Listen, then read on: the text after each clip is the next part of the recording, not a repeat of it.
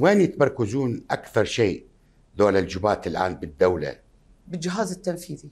بالجهاز التنفيذي. الجهاز التنفيذي أنا أقصد من وكيل وزير فما دون يعني الوزير اليوم آه، نوعا ما تقيد. ليش؟ لأن رئيس الحكومة عنده بوصلة ويدخل في كل تفصيلة للوزير وكل وزير خال عليه مستشار مراقب.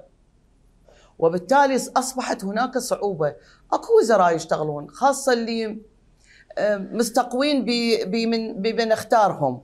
ولكن على أعم الأشمل اليوم من يعمل هم الجهاز الإداري. هؤلاء من تم الاتفاق مع سيد الشياع في هذه الدورة على أن يتم فلترتهم.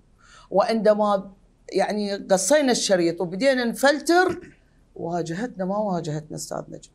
أي؟ يعني يعني أنطيك كم مثل.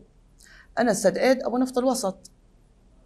والملفات اللي فتحتها عليه يا ابن الحلال والله مو شركة وزارة. يعني المال اللي تجنيه هذه الشركة اللي هالقدوتها تعادل أموال وزارة ميزانية وزارة. يعني خل أنطيك مثل بسيط. هو نفسه مع الجهة السياسية اللي تعود له مسوي ثلاث شركات.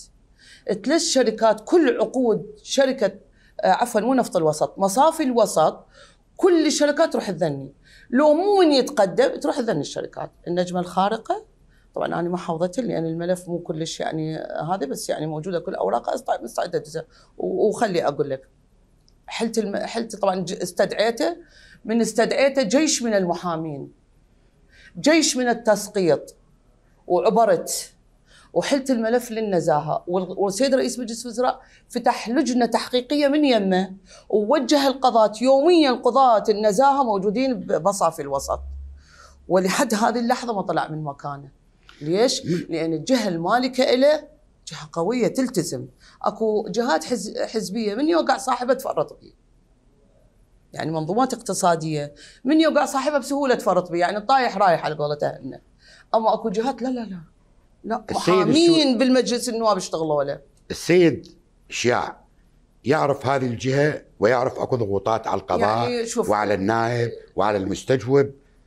يعلم جيدا. يعلم. يعلم. القضاء أعز له هسه.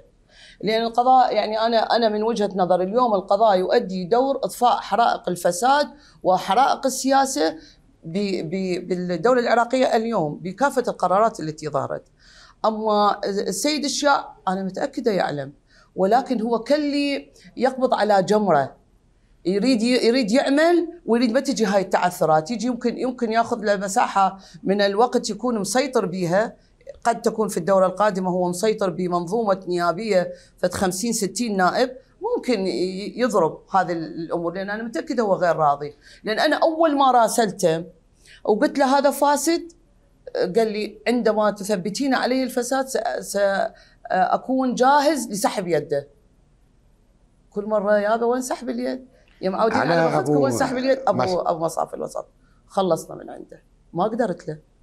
في حين مثلا أبو مدير عامل تامين لما استجوبته لأن ما وراء أحد طق بسرعة. بسرعة استبدل. هم ثبتت عليه فساد؟ زين هسه أبو مصاف الوسط ما انسحبت إيده. لا. ملف طبعا بعد التي والتي يا أستاذ نجم. يعني أنت لا تراوي لا تتصور أني هذا اللي احكيها لك بخمس دقائق. إحنا عندنا معاناة في ثلاث أربع أشهر.